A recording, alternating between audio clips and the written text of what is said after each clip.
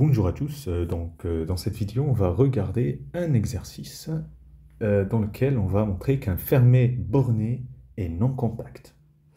Alors vous avez bien une idée en tête, c'est en fait le cadre de la dimension infinie. En fait ce qu'on va montrer, on va montrer plus intéressant, on va montrer qu'un espace vectoriel normé de dimension finie, si seulement si sa sphère ou sa boule unité est compacte. Donc, euh, on va se mettre dans un espace de dimension infinie. On va montrer que sa, sa, sphère unité n'est pas compacte, alors qu'elle est fermée et bornée. Voilà. C'est un exercice vraiment intéressant. Euh, la construction, ce qu'on va faire, euh, ça mobilise pas mal d'outils, donc c'est bien de savoir. C'est bien de savoir.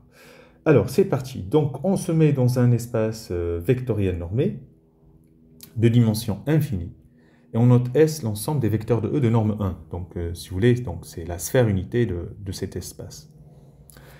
Première question, donc on va faire ça en deux temps. On va montrer qu'on peut construire une suite xn de coefficients donc, euh, dans S, donc euh, une suite de S, donc telle que pour tout m différent de n dans n, donc la norme de xn moins xm est supérieure ou égale à 1 demi.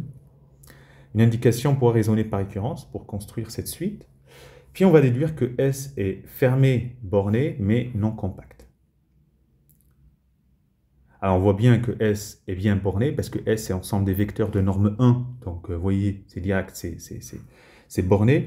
Et fermé parce que, voilà, euh, on peut même faire ça, donc c'est puisque les vecteurs de norme 1, donc c'est l'image réciproque de 1 du singleton 1 qui est fermé de R par l'application norme qui est continue. Voilà, donc fermé, borné. La question 2, ça va être vraiment... Euh, euh, montrer que euh, S n'est pas compact en utilisant petit a. Allez, donc on va essayer de se concentrer sur la première question. Donc on veut construire une suite d'éléments de S, donc des éléments de norme 1, ok? On va le faire par récurrence, ok? Donc on pose x0 dans E, un vecteur quelconque de norme 1, ok?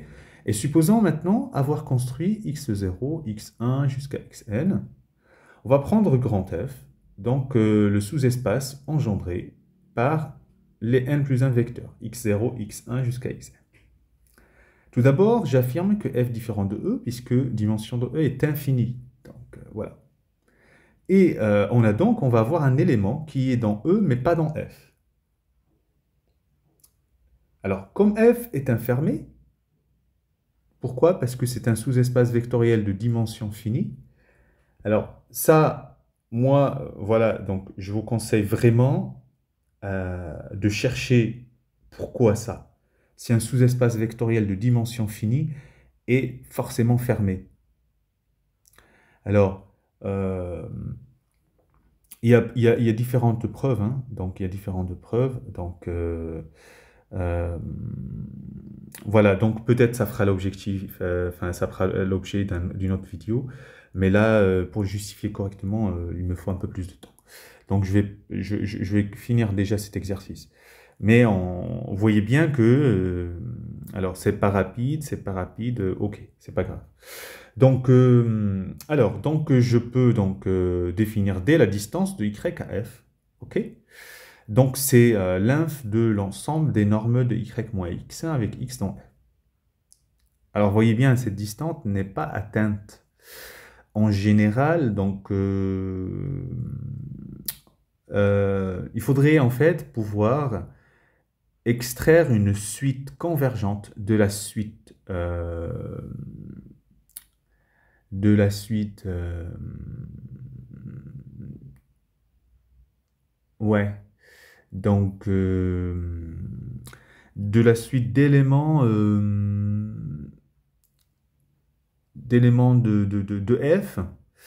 Et donc, il faut que f voilà, soit une partie compacte. Voilà, on va voir ça. Euh, donc, euh, alors, j'ai pu définir donc cette distance. En effet, en fait, par caractérisation séquentielle de la borne inf, on a une suite UP d'éléments de f telle que euh, la norme, la, la, suite est définie par la norme de y moins UP converge vers D.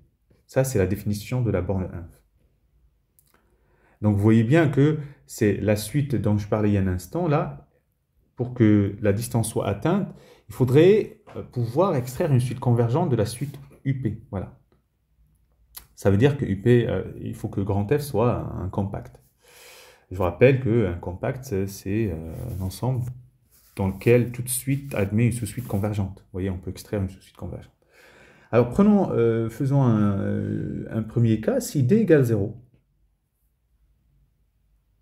ça veut dire que Y est dans F. et ceci est exclu. Alors regardez, j'écris quelque chose euh, entre les deux. Donc, euh, si d égale 0, on aurait donc UP, euh, la suite de f qui converge vers y, mais comme f est fermé, donc y doit être dans f, ce qui n'est pas le cas, donc d, définitivement, c'est différent de 0. Alors maintenant, par caractérisation de la borne inf, on peut trouver x dans f, tel que, donc vous savez, la borne inf, dès que vous allez perturber l'élément, c'est plus, une, c'est plus l'inf, quoi. Donc tel que on peut trouver x dans f, tel que y moins x est inférieur ou égal à 2d. Donc, euh, puisque d c'était l'inf, donc euh, voilà. Alors maintenant on va poser, on pose alors x1 plus 1, c'est y moins x sur la norme de y moins x. Donc c'est un vecteur donc, de norme 1, hein, ça veut dire x1 plus 1 est dans S. Et donc pour u dans f, on va calculer la norme de x1 plus 1 moins u. Alors je remplace, c'est ce vecteur moins u, je réduis au même dénominateur et je l'écris sous forme y moins quelque chose sur un vecteur. Alors cette chose que vous voyez là en jaune, là, c'est un élément z et qui est bien dans f parce que x dans f, u dans f, norme de y moins x, c'est un, un, scalaire, donc c'est des éléments de f. Donc je vais l'écrire norme de y moins z sur norme de y moins x. Comme d c'est l'inf, donc, d, euh, donc ça c'est plus grand que d, et divisé par ça. Mais euh, on avait construit x de sorte à avoir ça. Vous voyez Donc 1 sur ça, la fonction inverse, elle est euh, strictement décroissante sur 0 plus l'infini 0 exclu. Donc c'est super égal à, d sur 2d, ça veut dire 1 demi. Ainsi, pour k dans 0 n, comme xa appartient à f, on a x1 plus 1 moins xk qui est super égal à 1 demi, et on a construit notre suite. Alors maintenant, euh, donc voilà, la question 2, S est ensemble des x dans E tel que norme de x égale 1 est borné par construction. S est l'image réciproque de, du singleton 1 qui est fermé de R par l'application norme qui est continue, donc S est fermé. Maintenant, on va montrer que S n'est pas compact. En effet, soit Xn la suite construite à la question petite. Supposons que elle admet, Xn admette une suite extraite. X phi n convergente. Alors la suite x phi n plus 1 moins x phi n, donc ça va converger vers 0, puisque chacune converge vers le même élément, la différence vers 0. Mais pour tout n dans n, euh, la norme de x phi n plus 1 moins x phi n, c'est supérieur à 1 demi. Ceci est absurde, parce qu'on euh, a montré que ça tend vers 0, donc S n'est pas compact. Donc finalement, euh, on a montré que voilà, l'espace était dimension infinie, et on a montré que sa sphère euh, unité euh, n'était pas compacte. Voilà, bon courage.